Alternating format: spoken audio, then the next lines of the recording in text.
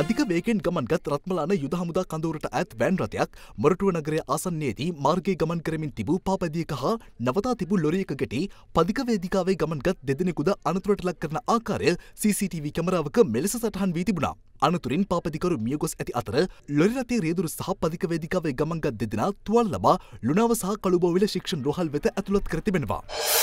ආරච්චිකට්ටෝ ප්‍රාදේශීය සභාව ඉදිරිපිටදී පාසල් දැරියක් මාර්ගය හරහා මාරුවීමේදී කැබ්රතයක ගැටෙන අයුරු CCTV කැමරාවක මෙලෙස සටහන්ව තිබුණා.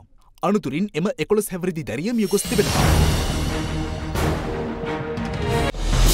අද දෙරන YouTube නාලිකාව YouTube අද දෙරන දැන්ම සබස්ක්‍රයිබ් කරන්න.